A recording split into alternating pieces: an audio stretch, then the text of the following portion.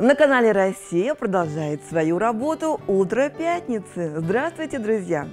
Завершается первый весенний месяц. Вы заметили, как много знаменательных дат было в марте? Конечно, в первую очередь Международный женский день. День кошек, э, День работников культуры отметим завтра, День весеннего равноденствия, День поэзии, День театра. Так вот, сегодня нашу программу мы посвятим лирики, поэтической лирики. И об этом сразу после прогноза погоды.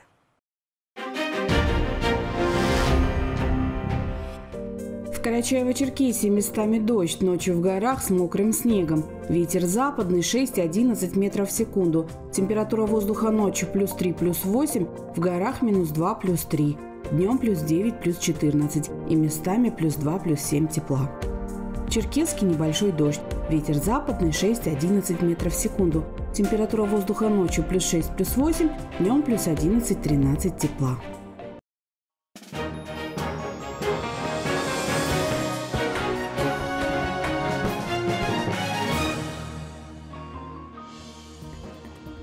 Как вам кажется, может ли по наследству передаваться поэтический дар? Я думаю, да. Ведь героиня нашего сюжета по профессии человек совсем не творческий. Имя известного черкесского публициста, поэта Муаэда Назировича Пхешхова навсегда останется и в сердцах его коллег, и в сердцах его зрителей, его почитателей. А программы, которые в свое время делал Муэд Назирович, навсегда останутся в золотом фонде нашей телерадиокомпании. Есть люди, как небо, чисты и прекрасны. Их души открыты, а помыслы ясны. Есть люди, как солнце, что греют нам душу. Есть люди, как песни, что хочется слушать. Есть люди болота, а есть океаны. В одних много грязи, в других много тайн. Есть люди ветра, а есть ураганы. Надежные есть, подобные камню, а есть, что похоже на замок песчаный. Есть люди, как ртуть, а есть, как железо. Одни ядовиты, другие полезны. Есть люди, как воздух, а есть просто газы. Одни нам для жизни, другие опасны. И в этом людском многообразии, где под масками скрыты пороки, сумеешь сберечь свою душу и разум, что удается немногим. Сегодня Ирину Пхишхову вполне можно назвать состоявшимся поэтом. Хотя она сама, признается Ирина, никогда не думала, что будет писать стихи. Впервые попробовала себя на поэтическом поприще, когда ей едва исполнилось пять лет. Я была, помню, с папой, с мамой, и мне как-то вот строчки пришли такие смешные, юмористические, скажем так. Сейчас, конечно, я их уже не вспомню, но мне захотелось их озвучить, рассмешить маму с папой, и вот они долго еще вспоминали этот момент. Шли годы. Казалось, Ирина навсегда забыла, что такое рифма, поэтические строки, вдохновения. Но ушел из жизни любимый папа, настоящий друг, близкий человек. Это был настоящий удар. Сердце болело нестерпимо, и строки рождались сами собой. Я боялась упустить те мысли, которые вот у меня были в голове, которые, те чувства, которые были на сердце. Я э, старалась это очень быстро написать, потому что боялась что-то упустить. Папа, расскажи мне снова сказку. Может успокоиться душа. Мне так не хватает твоей ласки, а мир жесток, как лезвие ножа. Папа, похвали меня немного, только ты умеешь утешать и переведи через дорогу, словно в детстве, за руку держа. Папа, а давай с тобой уедем, пусть нас ищут в разных городах. Знаешь, мне сильнее всего на свете. Хочется уснуть в твоих руках. Так дальше и повелось. Ирина до сих пор не знает, откуда приходит вдохновение, нужные слова. Но происходит это всегда внезапно, иногда в самый неподходящий момент. Это похоже на чудо – которое трудно объяснить. Помню, работала в магазине, такой, а, если конкретику, да, и а, обслуживая, естественно, покупателей, и просто вот в голову пришли какие-то строчки. И я подумала, что строчки сами по себе достаточно интересные, нужно их развить. И буквально вот как только вышел покупатель на клочке бумаги, все это быстренько написала, а потом уже начинала все это дорабатывать. Сегодня в арсенале Ирины несколько десятков нежных, пронзительных стихотворений, в которых светлая грусть и немного легкая ирония. И все они о главном. Чаще всего темы э, любви, без этого никуда мы не денемся, от этого тоже, да. Любовь существует настоящая? На мой взгляд, да, существует, но, возможно, не всем она дана. Не все ее смогут испытать в своей жизни, но то, что она существует, это, конечно, безусловно. Да, я обманута, но вовсе не тобой. Обманута своим воображением, своей наивной, глупой мечтой. Обманута до головокружения – Наивная поверила глазам, хоть сердце говорило «не спеши». Мудрец один давным-давно сказал, глаза подобны зеркалу души. Он прогадал, но в чем его вина? Ведь ошибиться в жизни может каждый. Я, как и он, доверчивой была. Я, как и он, доверилась однажды. Да, я обманута, тут нечего скрывать. Но пусть тебя не мучат угрызения. Я научилась главному – прощать, Прощать и отпускать без сожаления. Так что же такое поэзия? Это дар или соединение таланта и трудолюбия? Прежде всего, соприкосновение с Богом, считает Ирина. Да, если мы говорим просто о рифме, то, безусловно, мы сможем, э, любой, да, если он постарается, он всегда найдет рифму красивую, более-менее подходящую по смыслу. Но если в стихотворении не будет какой-то частицы души того человека, кто его написал, автора, то это просто набор слов, ну, на мой взгляд. Первыми слушателями Ирины всегда были самые близкие люди, друзья. Но ведь поэт на то и поэт, чтобы делиться своими мыслями, переживаниями. Некоторые утверждают, что пишут стихи для себя, и признание для них не важно. Но это не так.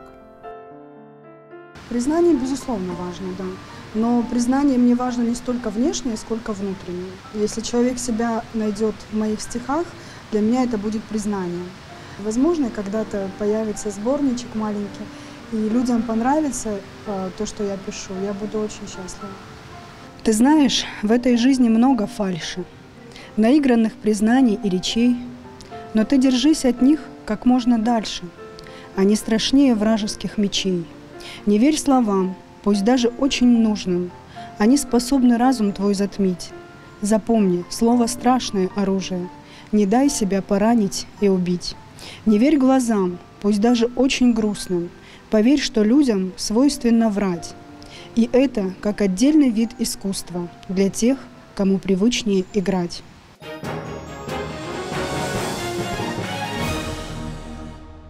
Ну что ж, дорогие друзья, на лирической волне мы продолжаем телевизионное «Утро пятницы». И сейчас я с превеликим удовольствием представляю вам своих гостей. Впрочем, какие же вы гости, друзья мои. Это наши коллеги. Э, Лейла Чучаева, Боец невидимого фронта. Она представляет огромную армию телевизионщиков, без которых ни один материал не выйдет в эфир. Привет, доброе утро, Лейла. Привет, Галя. Артур Мхцем. Артур, твой голос э, ежедневно слышат наши телевизионные зрители, да и материалы твои э, всегда актуальные, всегда своевременные, иногда порой помогают решать некоторые проблемы. Доброе утро, Артур. Доброе утро. Ребят, но сейчас мы забываем, что вы сотрудники телевидения, сегодня сотрудник только я. Сегодня мы говорим о поэзии, о вашем творчестве. Вы, безусловно, очень талантливые люди, но немножечко такое отступление. О себе любимой скажу, что в моей семье, где я родилась, воспитывалась людей вот таких вот творческих, склонных э, к стихосложению не было никогда. Единственный был такой момент, когда мой младший брат, у нас с ним небольшая разница в два года, он пошел в первый класс, и буквально через какой-то месяц-полтора родилось его стихотворение. Оно звучало, оно звучало так – Солнце ясное, краса, распустила волоса, и в такой чудесный день идти в школу всем нам лень. А учитель за столом вооружился топором, в дневнике сидят колышки и играют в кошки-мышки. Вот э, спустя какое-то время, наверное, став взрослым человеком, я поняла, что, наверное, таким образом ребенок хотел сказать, не хочу я ходить в школу, там солнышко, там пацаны бегают во дворе и, гоняют мяч, а там учитель с топором. Что для вас ваше поэтическое творчество? Вы, это как что? Это необходимость, это, это как дышать, это как есть, пить. Лила, что для тебя? Ну, безусловно, есть какой-то поэтический зуд – я человек, который не может не писать. Ну вот, э, я ничего не могу с этим поделать. И я отношусь к своему творчеству достаточно серьезно. Ты в своем творчестве пытаешься отразить свой внутренний мир, то, что тебя тревожит? Да, я пишу то, что чувствую. Э, некоторые мои стихи — это попытка переосмыслить какие-то события моей жизни, какие-то мои наблюдения за взаимоотношениями других людей — мои взаимоотношения с людьми. И, в общем, какая-то, может быть, атмосфера, которая царит. Но я вот... Она складывается в стихи сама. Бывает такое, что стихи пишут себя сами. Артур, ты сын э, известного абазинского поэта, публициста, народного поэта Карачаева-Черкесии Кирима Мхце. Его творчество очень любят, э, знают, перечитывают. Часто вас сравнивают. И Хотелось бы тебе когда-нибудь быть похожим в этом плане, в плане творчества на своего отца? Ну, на самом деле сравнивают нас э, действительно часто, пытаются сравнивать, но если для отца моего поэзия была жизнью, то есть он без нее себя не представлял. То, что касается меня, для меня стихи это хобби. То есть если я не напишу что-то вот там, что зацепит кого-то, я не расстроюсь, потому что, ну, все-таки я в большей степени журналист, поэтому для меня чуть ближе журналистика. Да, если получилось, написал, хорошо, но я не зацикливаюсь на этом. Вот для отца эта жизнь была, для меня увлечение. Ребят, ну я скажу вам честно, я не очень хорошо знакома с вашим творчеством, но то, что я видела, то, что я читала, ну, ну вот прям до глубины души. И вы, простите уж комплименты в лицо, вы не поэты однодневки. Э, и это не только мое мнение. Артур, э, твои стихи, которые посвящаются ну, каким-то очень жизненно важным для нас всех событиям, они до слез. Есть одно стихотворение, написанное тобой в прошлом году. Когда я его читала, рыдала в голос. И Сегодня мне этого не очень хочется делать, но прочесть это стихотворение, рассказать историю его рождения, я попрошу тебя сейчас. Ну, я сначала расскажу, почему и когда я его написал. Э, год назад, ну чуть больше года назад, когда началась специальная военная операция, э, несколько, некоторое количество наших земляков отправились туда. Один из них, родом из Уйджигуты, погиб в первые дни э, этой специальной военной операции – Зовут, э, если я не ошибаюсь, э, Павел Костин. Ну, так уж вышло, что я его лично не знал. Мы просто поехали на съемку и э, уже привезли его, ну, с ним простились родные. И это все отложилось у меня в сознании. Я вернулся на студию, и, собственно, так родились строчки об этом пареньке, которого, еще раз говорю, я не знал лично, но э, думаю, что вот ну, насколько это возможно, попытался передать и чувства, которые испытывали его близкие. Он вернулся домой после дальней дороги. Под одеждой скрыв раны и пару ожогов, не хотел, мол, пугать мать отца и сестер. Для мужчины нормально, все прочее вздор. Забегает счастливый. Неужто не ждали? Что так рано вернемся, конечно, не знали, но я здесь, снова с вами, скучали, небось. Тишина затем плач, и внутри отдалось. Все родня в конце комнаты будто чужие. На лице отца слезы скупые, мужские. «Мама, что с тобой? Словно сто лет прожила!» Но не слышит его. Что-то шепчет она. Только тут вдруг увидел, над кем все склонились. Как же так? Он же здесь, рядом с ними. Простились люди с юным служивым, прикрывшим друзей, в той стране, где, увы, жизнь упала в цене. Спасибо. Увы, нам с вами суждено прожить это время перемен. Оно очень сложное, но будем жить. Лила, в руках у тебя сборник. Расскажи, пожалуйста, что это за сборник? Это сборник «Метрум. Стихи и проза». А, он был выпущен в прошлом году к столетию нашей республики, а, к столетию образования нашей республики и э, к, пятилет... к пятилетнему юбилею нашего клуба. А, там есть произведения не только членов нашего клуба, но и наших друзей из поэтического клуба «Верба» из Дагестана. Есть э, наши друзья из Казахстана, есть друзья из Балашихи. Ну, сейчас прям вот карты в руки, открываем сборник и читаем то, что нравится именно тебе. Люди невероятные, э, каждый по-своему особенный, и это отражается в их творчестве. Я бы хотела прочитать стихотворение Балджан Джукаевой «Детство». Помню, как сейчас, июль и пекло. Я была так счастлива, и где-то слышался лишь речки перезвон. Черных две косы сплела мне мама, и зеленкой смазала все раны. Солнце, ты светила так упрямо. Я пьянела и бежала вдаль. Много изменилось с того лета. Нет того двора и меньше света. Солнце, я теперь совсем иная. От лучей твоих щажу лицо. Ты же светишь яро и упрямо. Вижу это, и всплывает рано. Тот июль, та мама и то лето, где была я счастлива, но это было так неслыханно давно. Боже мой, я всегда поражаюсь. Такая хрупкая, такая нежная. Ну, откуда в тебе столько мужского начала? Этот какой-то металлический несгибаемый стержень. И стихи такие же. Ну, я тебя прошу, еще что-нибудь.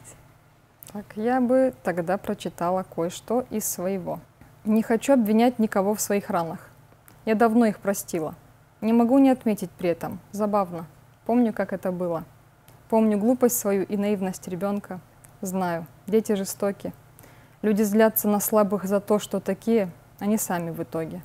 Я была уязвимой и резкой местами. Больше это не стыдно. Я узнала, что в этом запрятаны силы жить, когда все обрыдло. Жить осознанной жизнью, когда все вокруг говорит об обратном. Опускаются руки у тех, кто считает свою жизнь непонятной. Никому не должна и живу свою жизнь. Не могу быть примером. Не могу говорить о других свысока и от других не приемлю. Не питала надежд, что когда-нибудь стану идеалом, но все же. Я считаю, что дан человечеству шанс, и значит дан и мне тоже. Классно. Не хочу говорить батл, не хочу говорить состязание. Давайте такой биатлон не- небольшой все-таки проведем. Еще по одному стихотворению, Артур, попрошу тебя. Ну, это мотивационное стихотворение. Не так давно, где-то недели две-три назад, по-моему, написал. «Не живи самообманом, мой тебе совет. Не ищи в себе изъянов, идеальных нет. Признавать, учить ошибки, слабость их скрывать. Но для этого ум гибким точно должен стать. Разрушай стереотипы, уникальным будь. Недовольство, гул и хрипы не терпи, забудь. Покажи, на что способен, создавай свой мир. Не держись за тех, кто злобен, кто герой сатир. Если кем-то вдруг ты предан, вызубри урок. Опрокинуть снова бедом, не позволив с ног. Жизни впереди не вечность, каждый день цени, но меняясь человечность, ты в себе храни. Мне очень нравится твоя любовная лирика. Стихи, посвященные тоже взаимоотношениям, женщинам, разлукам, расставаниям. Э, Как-то вот, ну, может быть, потому что я просто женщина по природе пропускаю все через себя. Артур? Ой, ну я попробую Про тоже. любовь давай, про любовь. Две точки в будущем сошлись, отмерив сложные отрезки. Координатами зажглись чудных пересечений фрески. В витиеватом чертеже сокрыты происки искусства, как будто чувства в неглиже вплелись в переживания буйства. Мазки уверенно легли, рисуя искренние лица. Хотели, жаль, но не смогли, таким нет места небылицам. И чтоб картина удалась, двум точкам, сути не калеча, всего лишь надо, не боясь, решиться двигаться навстречу. Это просто пособие к применению. Да. Спасибо огромное. Лила, ну, в завершении нашей встречи что-нибудь на позитиве, я тебя очень прошу. Там, где нас нет, хорошо. Недостижим идеал. Что бы ты тут ни нашел, что бы ты там не отдал, глупое сердце, услышь. То, что имеешь, цени. То, чем ты не дорожишь, лучше упрятать в тайник. Можно забыть про вопрос, если ответчик притих, и выбирать среди звезд ту, что заметнее других. Если находишь свой путь, важно ли, где он и с кем, важно ли, где повернуть, сможешь поддерживать темп. В самой надежной броне, если не прочен скелет, будь на своей стороне, где бы ни встретил рассвет. Слушайте, как здорово. Мне кажется, вы прям сегодня стали таким путеводителем для телезрителей, э, потому что ну, столько умных, мудрых мыслей прозвучало в ваших стихах. Ребят, я, прежде чем попрощаться с вами, от всей души хочу пожелать вам не бросайте писать, чтобы у вас всегда было желание, чтобы, ну, я не знаю, говорят поэты муза. Если вам нужна муза, пусть у вас будет муза. Если будет просто желание творить, пожалуйста, творите. Вы молодые, перспективные и, как я уже сказала, вы очень правдивые. Спасибо вам большое, что вы оставили сегодня все свои дела, пришли к нам в студию. Доброго вам дня, хороших вам выходных и успехов. Спасибо взаимно. Спасибо, Спасибо. большое. Друзья, я хочу сказать вам, что сегодня гостями нашей утренней студии были наши коллеги, молодые поэты Артур Мхце и Лейла Чичаева. Мне же остается поблагодарить вас за внимание. Сейчас смотрите программу про здоровье и до свидания. До новых встреч.